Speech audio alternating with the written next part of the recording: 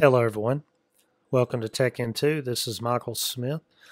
Today, we want to look at how to modify our surface data for creating a SSI file for implant planning in the Galaxis software with an existing tooth in place. So I'll come into the edit model. I'll choose replace. I'm going to draw a line around my tooth. If I cross over, it's uh, into the neighboring teeth a little bit. It's fine. No big deal.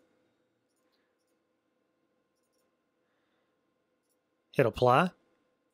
After this, it's going to reduce it down quite a bit. I go back to my form tool.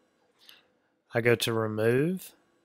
And then at this point, I can remove even more material, create almost like a socket for the extraction site um, if need be. But the main thing is, is you want to create enough room uh, from that extracted tooth for your guide sleeve. That's pretty much all you got to do. I want to thank you for joining us today. Just stay tuned for many other videos for the future. Thank you very much. Have a great day.